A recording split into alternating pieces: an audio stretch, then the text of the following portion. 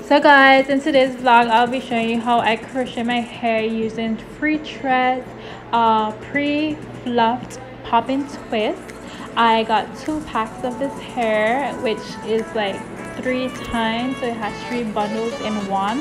Uh, I ended up using two packs, so two whole packs. Uh, so I started by just um, separating the hair as you can see my hair has like singles already which makes it a lot easier for me to crochet. I didn't use any rubber bands or anything for this.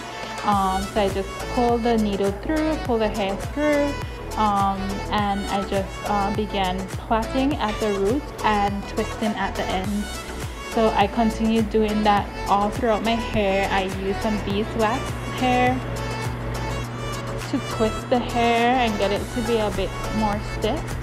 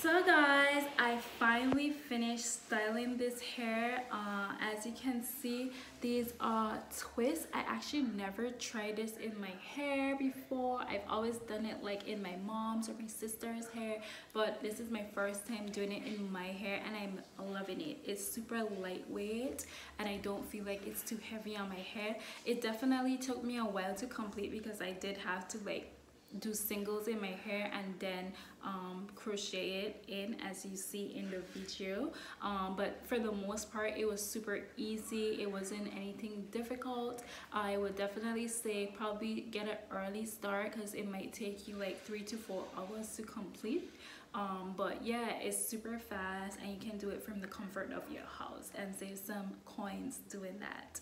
So yeah don't forget like comment and subscribe to my channel. I look forward to seeing you in my next video. Thank you guys. Bye